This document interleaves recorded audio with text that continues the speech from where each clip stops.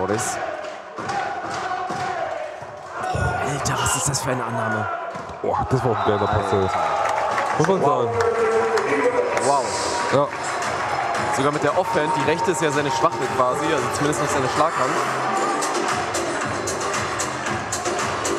Nimmt da 50% Feld alleine und nimmt den noch an. Äh, ja, Puh.